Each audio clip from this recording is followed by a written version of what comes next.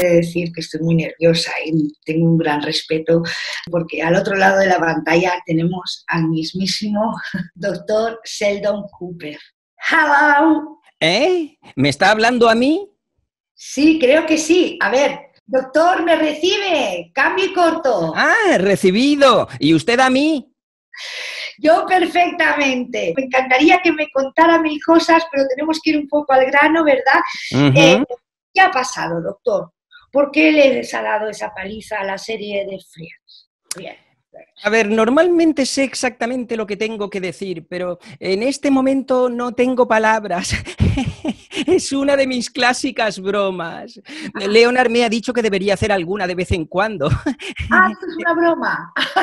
A ver, las probabilidades de perder estaban en una contra un millón dada la casuística de alineación sistemática de cuadrantes. Te lo explico como si tuvieses cinco años.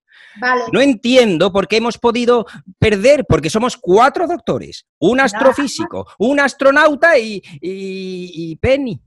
A esa suma restamos a Wolovich, que no es doctor y por tanto no cuenta, y a, a Penny porque es Penny. Y aún así nos siguen quedando seis científicos.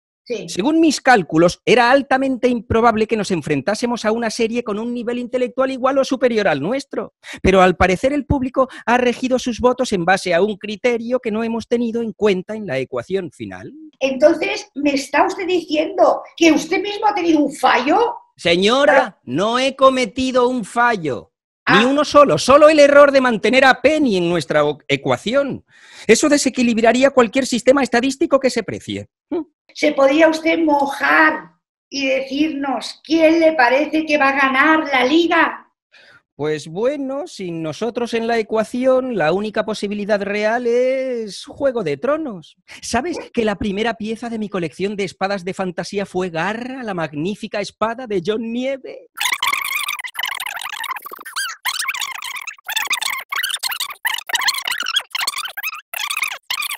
Y tuvimos que ir al hospital. Mm, mm, horas y horas en urgencias, perdiendo el tiempo sin saber qué hacer. Una cosita, ¿usted cree que los Simpsons no podrían llegar a ganar la liga? Es una, es una serie de, bueno, una de las más importantes de la historia de las series. Así ah. rapidito, dígame. Eh, amo a Lisa Simpson. Ah. Pero odio a los Simpson. ¿Ya? Vale. Bueno, pues hasta aquí hasta aquí nuestra entrevista donde casi todo lo ha dicho el doctor, ¿verdad? Y muchas gracias. Adiós, buenas tardes, muchas gracias. Gracias. Tío, pero como habla tanto, yo lo he flipado, se me ha hecho pesado, te lo juro. Mira que me encanta el personaje, ¿eh? pero se me ha hecho pesado. Recordad la próxima fase de la Liga de las Series, lunes 11.